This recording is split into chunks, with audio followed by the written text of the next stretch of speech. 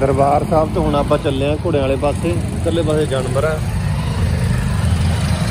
ਤੁਹਾਨੂੰ ਦਿਖਾਵਾਂਗੇ ਜਾਨਵਰਾਂ ਦਾ ਮੇਲਾ ਵੀ ਇਹਦੇ ਵਿੱਚ। ਜਿਹੜਾ ਮਾਝੀ ਦਾ ਮੇਲਾ ਮੁਕਤਸਰ ਸਾਹਿਬ ਆ।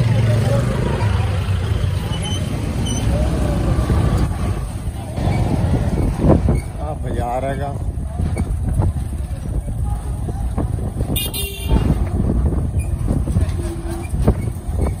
ਇਹ ਮੇਲੇ ਦਾ ਬੈਕ ਸਾਈਡ ਹੀ ਘੁੰਮੂਗਾ ਜਾ ਕੇ, ਹੈ ਨਾ? ਹਨਾ? ਹਾਂ ਇਹ ਮੇਨ ਰੋਡ ਰਾਡ ਤੇ ਕਿਸੇ ਦੇ ਸਾਈਡ ਤੇ।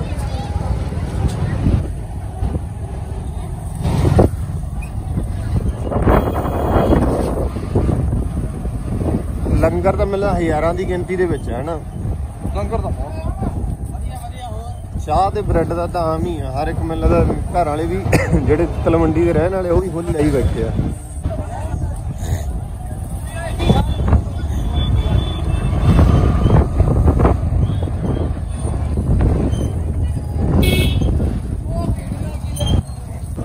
ਆ ਲੈ 855 ਵਾਲੇ ਸ਼ਕੀਨ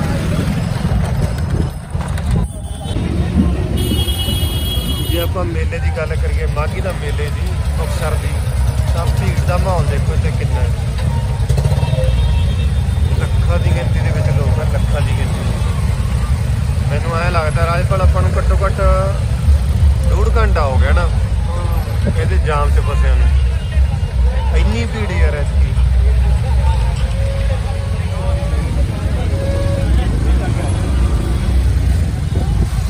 ਤਾਂ ਵਾਪਸ ਮੁੜਨ ਲੱਗ ਗਏ ਇੱਥੇ।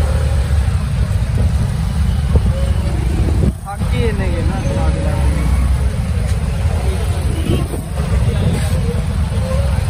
ਜਿੱਥੋਂ ਤੱਕ ਨਿਗਾਹ ਜਾਂਦੀ ਉੱਥੋਂ ਤੱਕ ਹੀ ਮਤਲਬ ਲੋਕ ਹੀ ਲੋਕ ਹੈ ਜੇ ਮੰਨ ਲਾ ਸਟਾਰਟਿੰਗ ਤੋਂ ਆਪਾਂ ਵੀਡੀਓ ਬਣਾਉਣੀ ਹੁੰਦੀ ਤਾਂ ਇਸ ਹਿਸਾਬ ਦੇ 3 ਘੰਟੇ ਦੀ ਵੀਡੀਓ ਲੱਗਦੀ ਸੀ ਹਾਂ ਵੀਡੀਓ ਬਹੁਤ